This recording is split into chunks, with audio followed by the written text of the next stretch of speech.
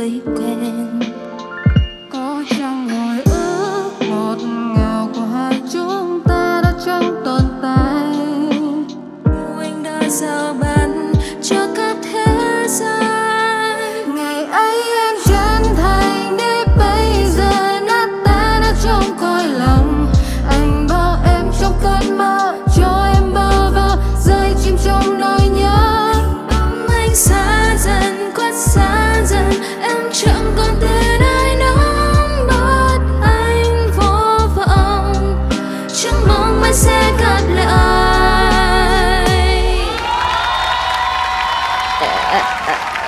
anh nhắc lại nè một tấm lịch để bàn. Có ruộng lúa thái bình hai vũ công. À, người nữ mang ba lê nhảy với nhau. Người nam á thì tên là ít người nữ á thì là quán quân. Mà vũ công đầu chồng hả? Nghe giọng này chắc chắn là nữ rồi. Ừ. và có thể là không phải là ca sĩ.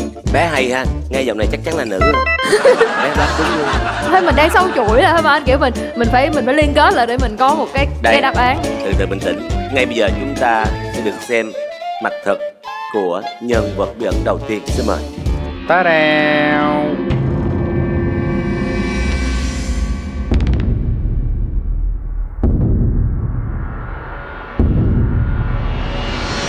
Yeah. Hello chào em. Lâu lắm không gặp. Hello em. Nhìn cái biểu cảm của họ nè. Không cái mà ổng lúc nào cũng vậy.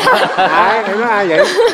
Mình có thể nói chuyện bình thường hỏi gì hỏi muốn hỏi gì hỏi dạ em em chào đằng ấy à Giờ mình cứ hỏi đại gì đi cho có tí gọi là giải trí ủa em chào mà người ta không chào lại em sao kêu hỏi đại đi? Ừ đó là cách chào đó. Dạ dạ dạ dạ. À, à, chị ấy ơi. Không có đâu, tôi nhỏ thì vậy thôi mình mình mình mình kêu bạn bạn với mình đi cho nó dễ bây giờ thương. em phải nhớ lại có có một cái chương trình nào mà thần đồng âm nhạc con nít á mà mà mùa thứ 8 á mà con nít á nhiều khi là vậy sao? Đó nhiều khi thần đồng âm nhạc mà Ừ. em biết cái cơn bão mà nó dạt chiếc thuyền ra xa ra xa bờ không? Ủa khoan đã. Em là thuyền đây là bão nè đó. Anh dắt em hoài vậy? Anh hỏi thôi hiểu không? Ấy ơi ờ, ờ, tên ấy ờ, gồm bao nhiêu chữ cái nè Gồm bốn chữ nhá. Tên mà có bốn chữ bốn cái. chữ là dương triều má hán. Dạ, cái đó chữ là cái chữ cái ủa khoan cái. khoan em em hỏi sai rồi em hỏi sai em xin lỗi mọi người. Bốn từ. Tên của ấy gồm bao nhiêu từ á? À. À, à. đây anh bật mí tên hùng. Tên hùng. Ủa khoan con gái mà anh. Không phải thôi. Bạn cười khoái chí quá kìa. Ừ. À, tên bạn có liên quan liên quan tới một loài hoa hay gì không nhỉ? Không nha, tên của mình là liên quan đến tính cách nha Và đây cũng chỉ có anh Giang mới đoán được mình thôi. Chứ anh Tùng với anh Hương Ngọc là cũng thua luôn.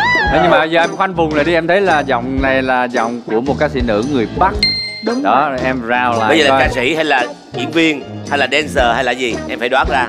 Nghe giọng thì có vẻ như chắc không phải ca sĩ. Ủa trời ơi dòng người ta như ta vậy mà hay, phải ca sĩ. hay hay ngời ngời vậy mà kêu là không phải ca sĩ. người ta bắt bè một cái một rột rột lẹ luôn mà em cho không. một cái ý nè tên cô này liên quan tới thời gian.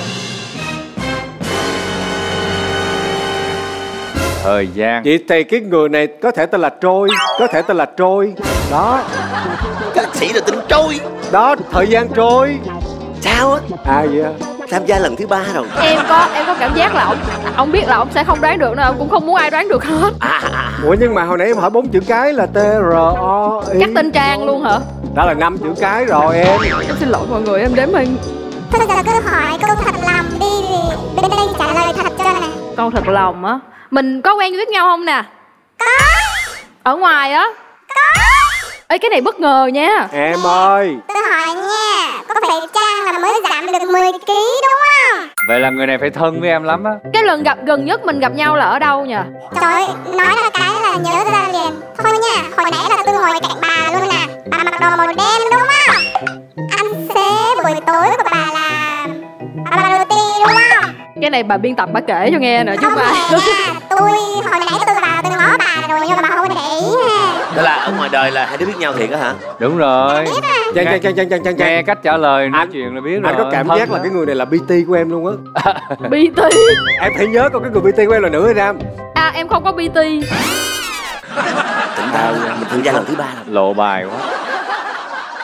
Này thấy người ta tham gia lần thứ hai người ta điềm tĩnh không? Ừ. lần thứ ba rồi. Điềm tĩnh lại điềm tĩnh lại bốn chữ cái tên bốn chữ cái. Có liên quan tới cảm xúc và hồi nãy nó tâm trạng. Thời gian. Thời gian. cái gì liên quan tới thời gian? Đồng hồ đồng hồ.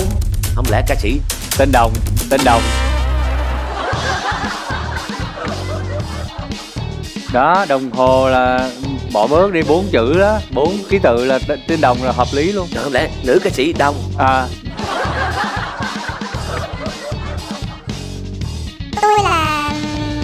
sở trường chính là tôi là nhảy đó. Bạn nghĩ coi xem bạn bè của bà là ai nhảy đẹp. À vũ công đó vũ công. Đó.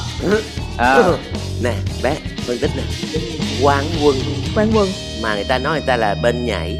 Quán quân nhảy là chương trình gì? So you think you can dance. Dú- đúng rồi đó. So you Đó, think you can. Quán quân là ai? Tính từ mùa 1 tới mùa 8 có coi không? Có coi không? Có theo dõi chương trình không? Anh nhìn mà em. Là không coi. Rồi thôi đoán đại đi có mà đoán. Có mà đoán. Cho một cái tên. Anh cho em cái tên đi em đoán.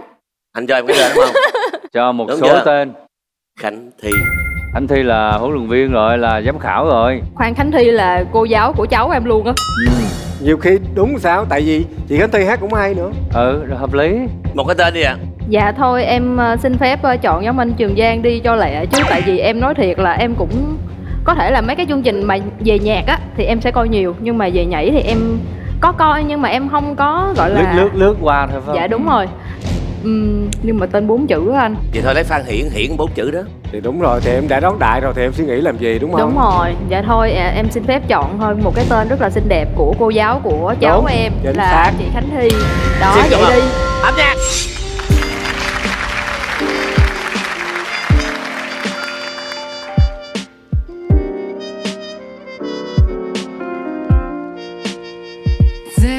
đôi mi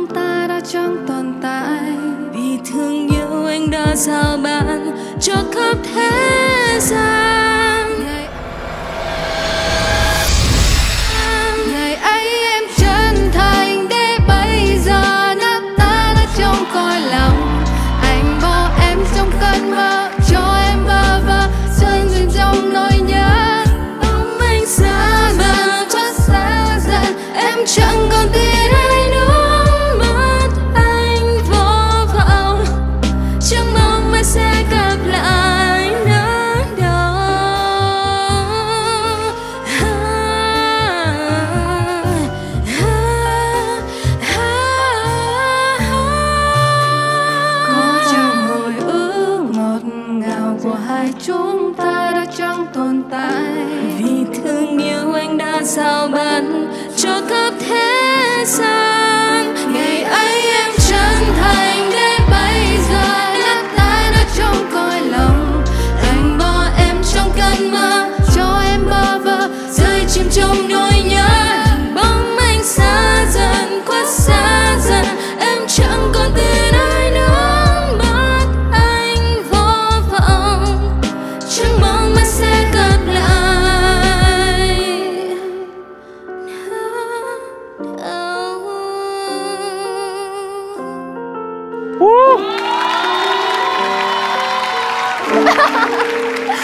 tôi tức ghê.